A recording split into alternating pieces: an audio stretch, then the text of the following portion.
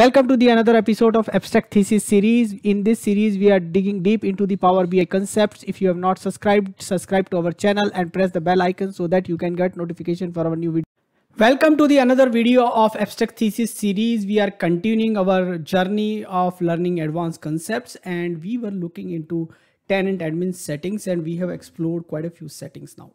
Now the time has come that we look into some of the settings where we are sharing the content. We have already looked into the content, you know, with the external sharing. And one of the external sharing which we did not cover last time was public publish to web. Now this publish to web is a setting which is very cautiously need to be used because publish to web allows you to, you know, uh, give the data access to the external without any login control and anything. And that's why I kept it separate that, you know, uh, uh, it is not just an external user which is having a login it is actually uh, public uh, domain access where you know reports uh, do not require even authentication sometimes uh, so and uh, so how you do it basically eh, on every report you have you know option to share and then you can have embed code and inside that you can say publish to web. Now publish to web could be really really tricky now and you need to uh, you know uh, be very careful while allowing this permission. Typically it should be only allowed to very selective set of people and the recommended setting is not to allow to all of them. Ideally you should not allow. We have enabled and allow the existing code. Now what happened? This feature has later come in place. So there was already code which has been shared or allow to existing and new code. So previously what has been shared if you want to do that or allow existing and new code so we have say allow existing and new codes uh, that you know people can still share. Apply to entire organization specify security group accept uh, specific security group uh, then these are the normal setting but i think you should specify the security group which can share it right now because in my login i typically have the content which is kind of a, a, on public data only so i can actually manage with this setting but you should not have that. And you need to be very careful while do, doing this because this will allow you to share the report and publish to web now the another setting which we want to discuss is the copy paste visual. A user in the organization can copy paste visual or the tile uh, and then you know static image on the external application. So in this setting what happens you know you copy the tile or the image and then you can actually paste it on somewhere there.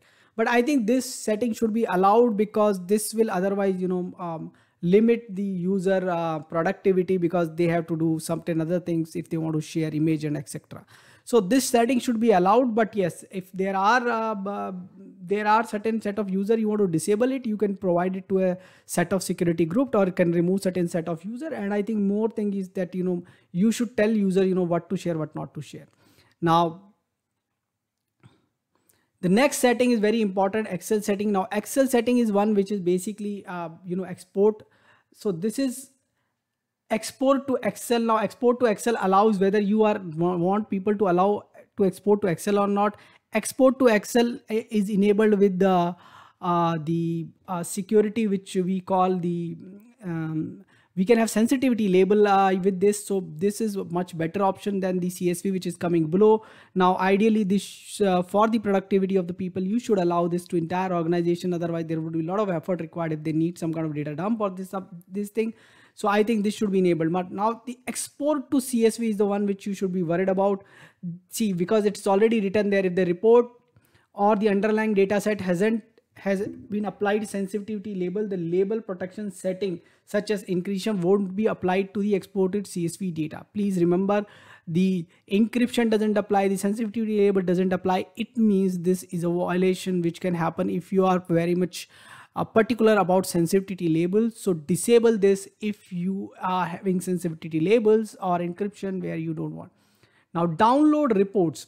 Now user and organization can download the PBIX. I think this setting uh, should be restricted to certain set of people, but it can actually reduce you know productivity because what time what happens people download that PBIX, improve upon and again publish it. But uh, there are better methods like sharing the PBIX on SharePoint and all those and because uh, downloading uh, this uh, might not be a great idea uh, so you should be allowing this to selective set of people, but most of the time organization allow the PBIX to be downloaded uh, by most of the people who are there in the organization. okay.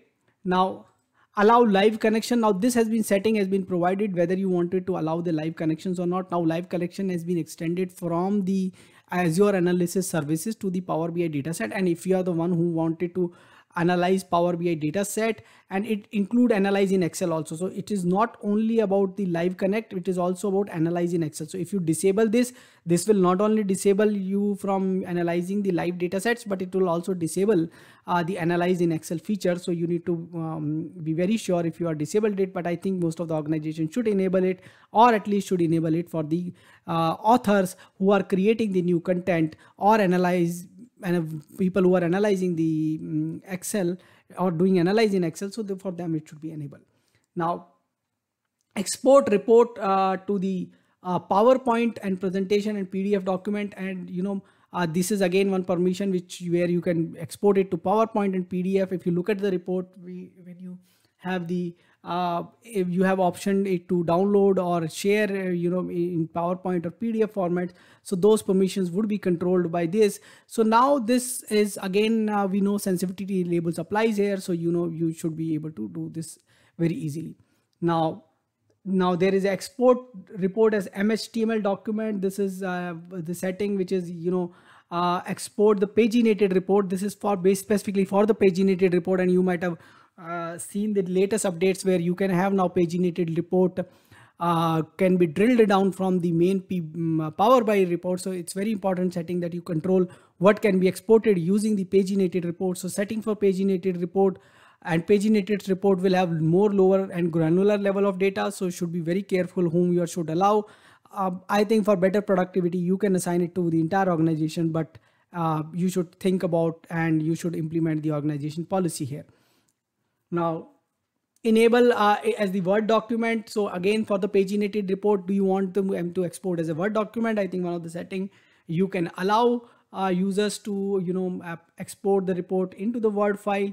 Uh, uh, and then they can actually do certain modification if they want and you know share it with sensitivity label should also apply to the export report if they are uh, coming from the sources now export report as XML document again for the paginated report if you are exporting that XML document whether you should be able to do that or not that is another one. Now export report as an image preview. Now this setting has come as a preview where you know you users and organization can export the report to API uh, to a report which export is as image file. Now report underlying data set has applied sensitivity label. The label protection won't be applied. So please remember that this way of exporting will not be controlled by sensitivity label so you need to be a bit more careful. I think should should be disabled. Uh, again thing my advice would be but uh, you can enable it and give selective access to the people. Uh, if you enable it there is a selective set of again the same three way entire organization security group or accept security group. You can choose one of them and do it. Now uh, there are a few more settings which I think uh, we will cover into our next video. Uh, there are a few more set security settings. So I think these are few security settings which you can have a look at it and try those out and see what is their impact. You can actually go to a report in Power BI. There are export of Power BI service basically. There are export options which you can try. If you are a premium customer, you will have uh, access to create and uh, publish paginated reports. So you can publish a paginated report and can try to explore those options. If you are not a PPU, you can actually go ahead and try, you know, uh, Pi Premium for free. For about that, you need to be at least a pro customer. If you are the, there, then you can go ahead and try that out and can check it out how paginated report and all those things work. So go ahead and try these settings out. In the another video, we'll cover next few settings. Thanks for watching this video. Thank you. Keep watching, keep asking questions in comments, subscribe to my channel and press the bell icon so that you can get notification for new videos. Thank you.